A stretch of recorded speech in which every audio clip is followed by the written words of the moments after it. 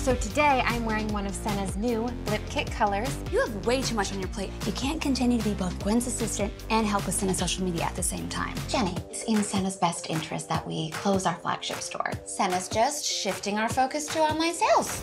Why is it beeping at me? I will get IT. It's an emergency, and I need to shut off this live stream ASAP. But I don't want to lose any of the work that I did on the stuff. No!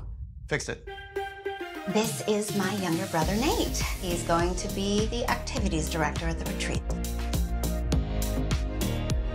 I think we need to hire a full team to run Senna's social media. I have a potential candidate joining us here in Clearwater. Well, I would really like to be considered for that position. I need to see a real change in you, Jenny. Show me that you can find a better work-life balance. But how would you like me to show you? Assisting Nate. Let him guide you to your Zach. Do you have a copy of your activity schedule for the week? I don't have a schedule. It's all up here. That's a bit chaotic, don't you think? Spontaneity doesn't equal chaos.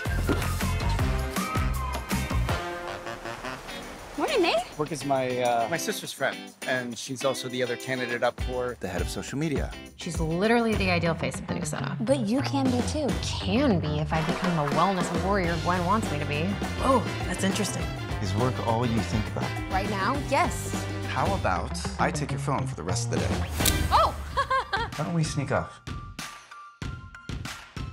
I did do some salsa lessons in Madrid. That was there for a mountain biking tour. I thought you said you knew how to salsa. I didn't say I was any good. Walk your feet out until you're in a chair pose. Oh!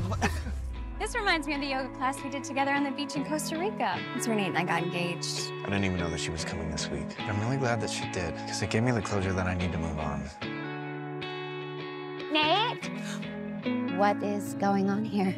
I'm sorry, I didn't mean to cause any issues. You're fired, Jenny. Wait, don't go. Please don't follow me. I can't be upset with you for following your heart. Gwen actually offered me the head of social media, but I turned it down. I decided it's time for me to start my own social media management company, but in a way that lets me have a life outside of the office.